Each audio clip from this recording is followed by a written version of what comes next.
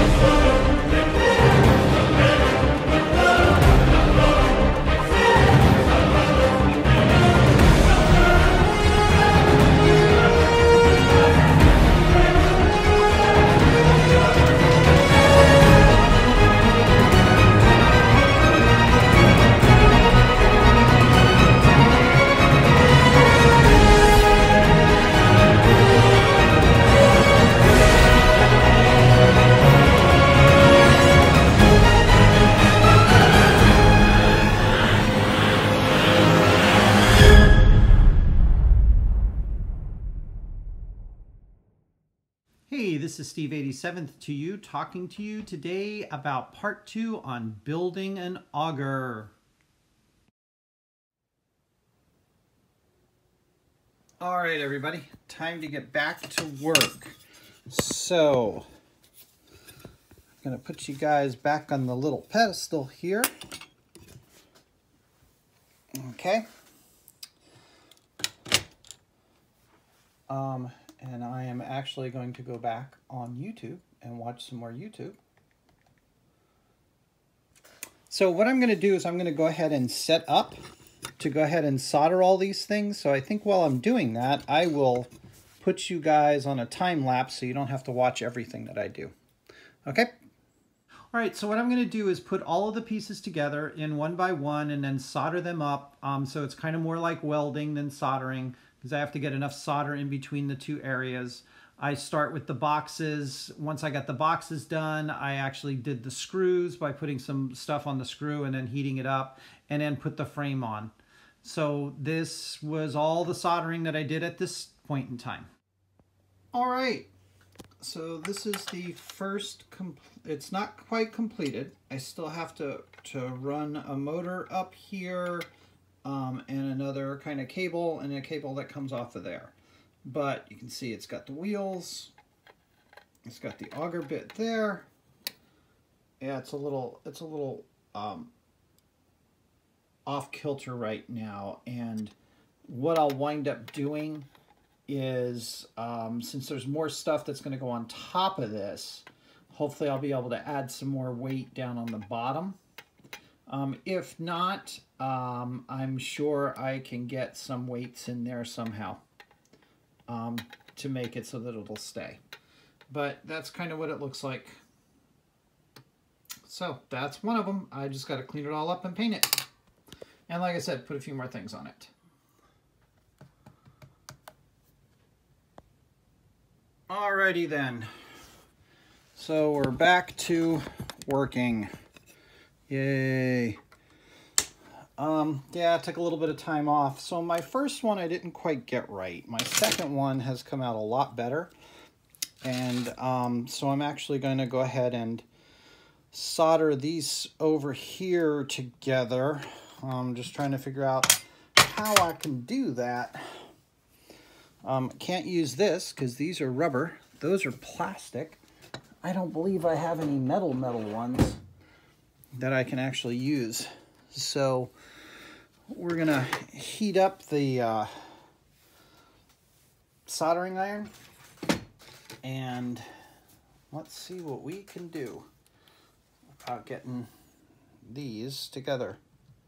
This one, so um, there's some things that I can do to change this to make this a little bit better. This is my first one. You can see I put the wheels on, on the top of it when they should have actually been on the bottom. This is actually a little bit too far back um, to make that right. Um, and I also looked at my picture a little bit. it, I'm not really exactly the way that it was, um, so I'm not going to worry about that too much. And I still have to figure out how I'm going to do the gearbox. I've already kind of figured out how I'm going to do the gearbox up to the top. Um, and then I also found out that I've got to change the top portion of this a little bit too, which that'll be okay. Um, we've got a few things I got to do, but it's fine.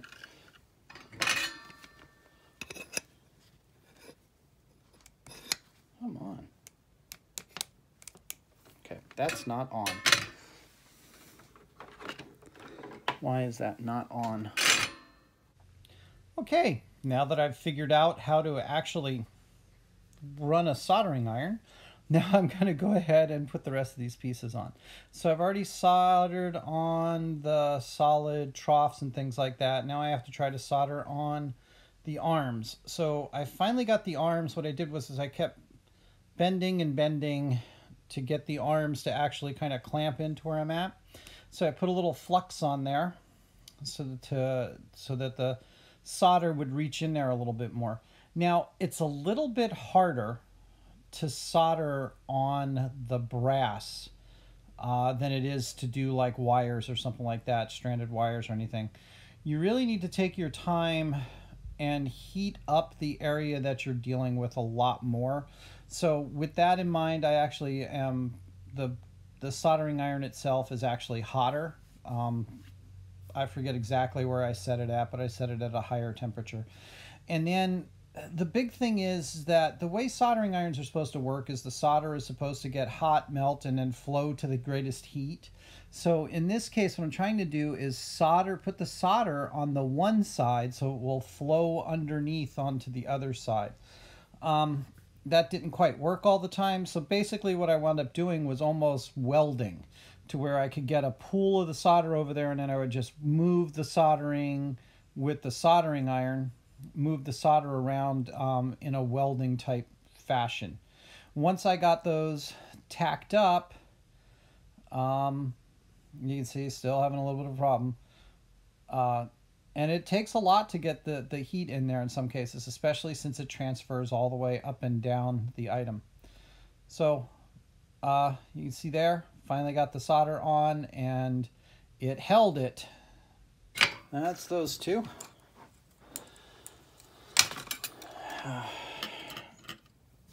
Just come in here with some snips.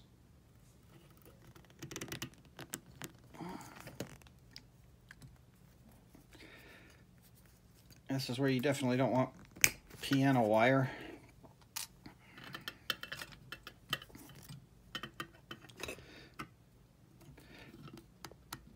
The brass is nice because it's softer and makes it easier, a little bit easier to cut.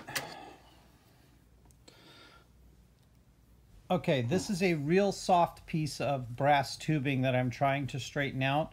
It's a little bit softer than I wanted to but I needed to try to get it straight so that I could then figure out how we're going to bend it and how I could manipulate this. So that's what's going on right now. So the one thing that I do want to try to do, let's see how tight of a corner I can make this bend. Um, and there is a reason behind that. I know it sounds really weird, but uh, I do want to bend this to make it look like there is a 90 here because up here there isn't going to be a 90 it just goes into a transfer box that goes straight down so that'll make it easier I am just looking for my bendy tools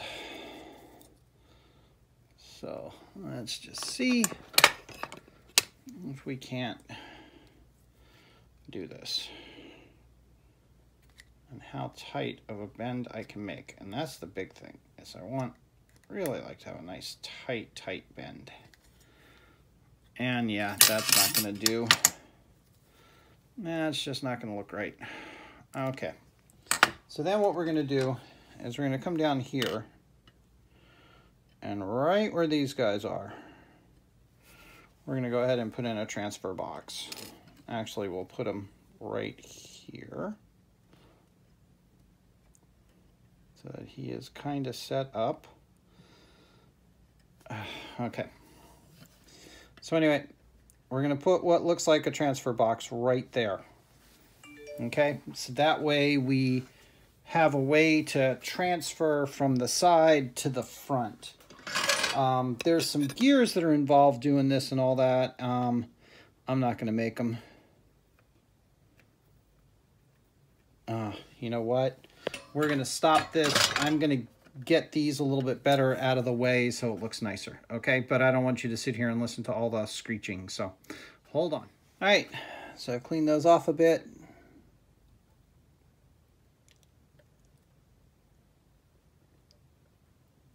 Right, best thing about model railroading, you don't have to be perfect in some of these things.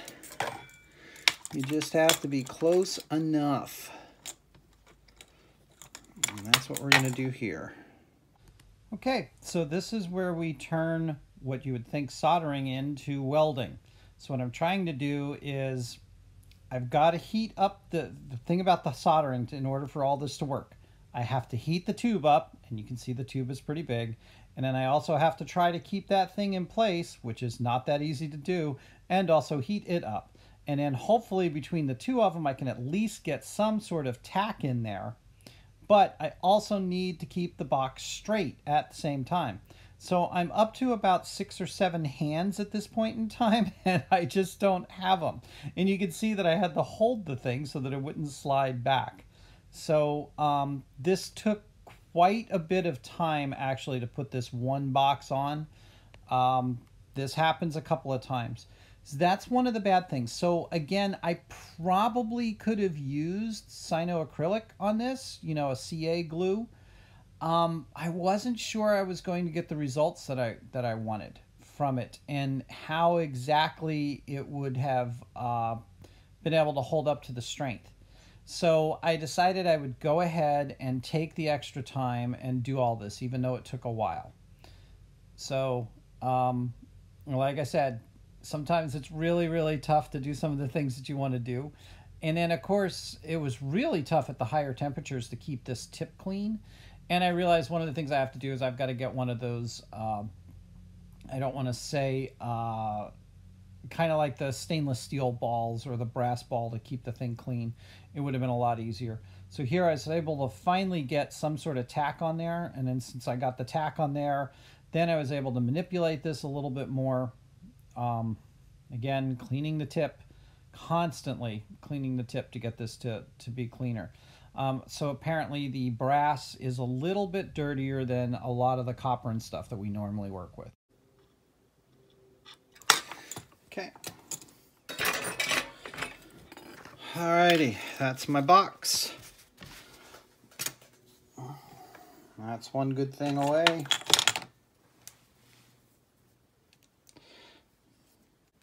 Alright, so I'm going to do some cutting to make some small pieces out of this to make some more of this, okay?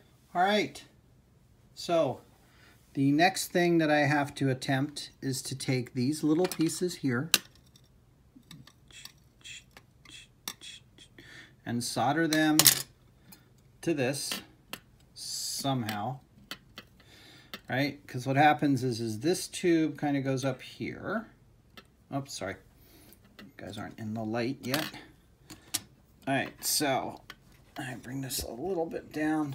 This tube kind of goes up there to the motor. All right. This tube will come off of here to meet up with that tube okay? One of these ends comes this way, and then the other one goes off to the motor that goes over there, and then this is actually a hanging little thing for the uh, motor to go on. So, lots of little things to do. Um, I'm going to go ahead and put this in speed up mode um, for time lapse because I'm sure there's going to be a lot of words that are said during this. So that doesn't necessarily have to go on. Alrighty. So let's get you guys on some wider screen. And it's up a little bit. Okay, so the tiny little pieces proved to be exactly that, a little bit of a pain. Um, holding them on and trying to tighten them down, I really needed some uh, metal sort of uh, clamps or something like that so they could be held in place. This is one of the drive shafts. There's actually a shaft that goes in between the two of them. Uh, those are just the holding guides. The transfer box actually has holds a universal. And then the other one that I had to put on there was a stick to come out to the side that would hold um, the transfer column for the uh, PTO. All right, so let's take a look at this thing now. The only thing I've got left to do I got to put a box on this end to show that there's kind of a transfer box. We've got the transfer shaft, the shaft protector, We've got the wheelbase, we've got the transfer shaft down here, another shaft, and then this shaft actually hooks up to the PTO of a tractor. So we got all that in there. That's just got to be cleaned up a little bit. And then I've got to fabricate some sort of box that goes up on the end here. And I believe what's going to happen with that is, is I'm just going to get a piece of wood and make it into a wood piece. And this is going to fit in there something like this. This will go underneath the track. This will have the bed that comes in like that, something like that. And then this will go in the in the house. So there we go. Um, clean up, painting. Oh, what was that little thing for? Okay, so this particular little piece right here that I just had the hardest time putting on, that one right there, when this isn't in use, this actually swings and hangs on there so that they can use this um, and tow it away. And the real one, um, had I made this a little bit better, um, I was looking at this. This actually goes from here to here, and then this goes from here to here. There's a little pallet. There, there's another little bar that goes in here. It's kind of a tray.